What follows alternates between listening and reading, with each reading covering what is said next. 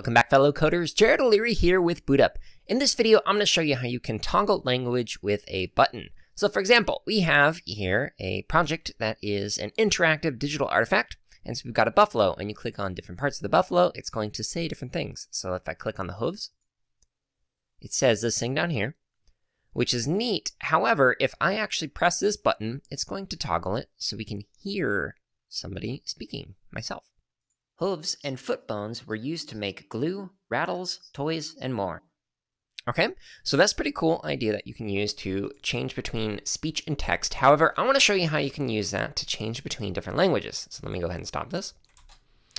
All right, so in our project, what we're going to do is we're going to delete Scratch Scratchcat. We don't need a Scratch Scratchcat. We're actually going to add in a button. So we're going to go button. Oops, typing in Japanese. And I'm going to go ahead and use this one. Okay. So inside of here, we're going to have two different costumes. So one costume is going to be for English.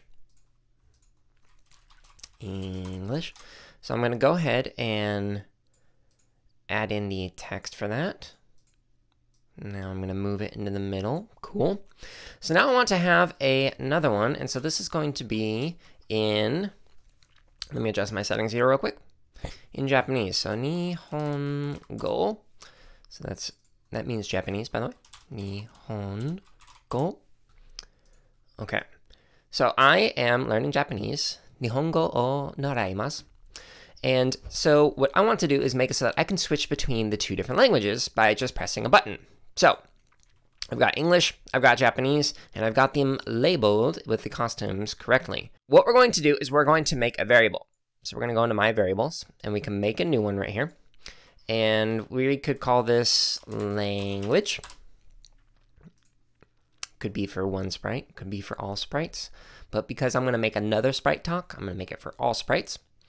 Okay, so for this one, we've made our variable. We've called it language. And what we're going to do is when we press the green flag, we're going to set our language to English.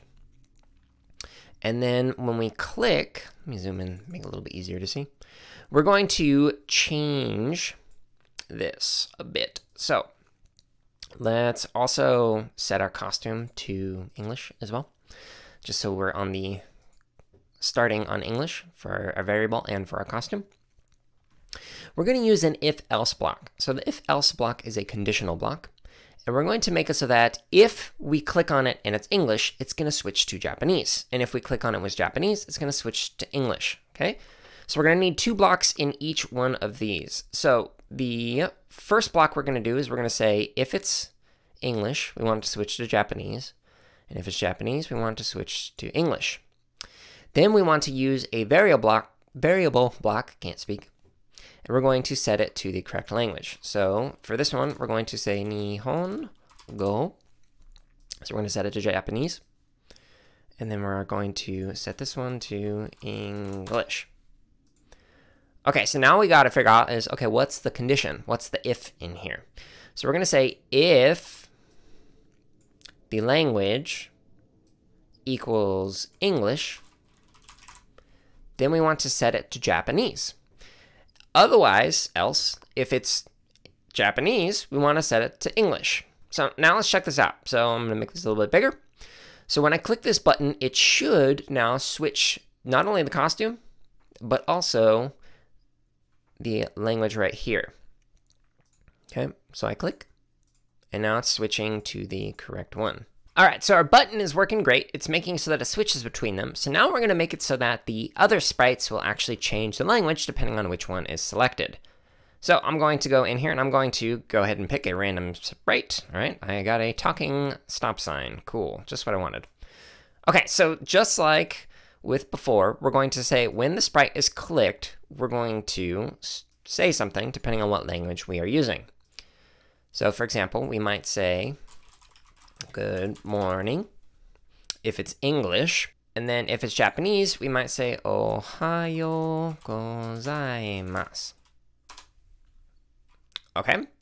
And just like before, we're going to use the same conditions. So we're going to say if the language is English, then we're going to have it speak English. But otherwise, if the language is Japanese, we're going to have it say Ohayo gozaimasu, which means good morning. Okay, so let's try this out. So we click.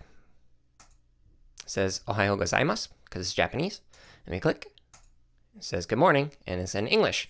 And by the way, you can do the same thing with some audio. So instead of using this, we could have it have different sounds. So this could be in Japanese right here, and then it could be in English up here. You just have to record two different audio tracks. And by the way, just a little bonus tip if you wanted to add in more than two different languages to pick from, you just got to add in more than two costumes in here. And then you're going to use nested conditionals. So, what that looks like is like this. So, let's say we have English is an option. Um, right here. We have Japanese, and then maybe we have like a made up language um, called. So what you would do is just switch between these and make it so that if it was set to whatever the thing is above, oh, it's a different language, then it just keeps doing this. Okay, so you nest them inside of here, and you can just keep adding in more languages in here so you can toggle between all your different options. Then in your sprites that are talking, you just include the same type of code. So you just keep nesting between them. Cool. All right, so hopefully this helps you out with creating your own toggle button between different languages or between speech and text. And hopefully you try and make it a little bit more fancy than what I did with this code. So maybe you can make it so that your button presses down and then it lifts back up, etc. So you can do a lot of really cool things with this. So make sure you check out the guide below for some more ideas. Thank you so much for watching this video. Let us know something that you learned or created in the comments below. And make sure to subscribe, like, and check out the links in the description for even more free resources, such as videos, free lesson plans, and our podcast.